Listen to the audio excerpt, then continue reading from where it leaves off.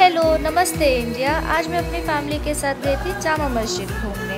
ये मेरे मम्मी है, ये मेरे पापा है और ये पता नहीं कौन थे। ये मेरा भाई है।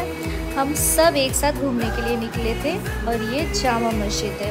बहुत प्यारी लग रही थी और ये फ्राइड चिकन जो बहुत टेस्टी थी मस्ट विज़िट है जामा मस्जिद में। और जैसे कि आप मेरे फेस पे देख ही सक रहे हो कि वो कितनी टेस्टी थी।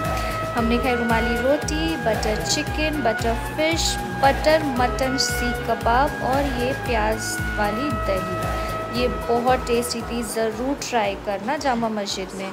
उसके बाद मैंने पी मोहब्बत शरबत जो बहुत बहुत टेस्टी है बहुत यमी है ज़रूर पी ना वहाँ पे लाइटिंग्स थी भीड़ बहुत थी और मैं बहुत थक गई थी। और उसके बाद हम घर के लिए निकल गए। मुझे और वीडियोस बनाने की बिल्कुल दिल नहीं कर रही थी।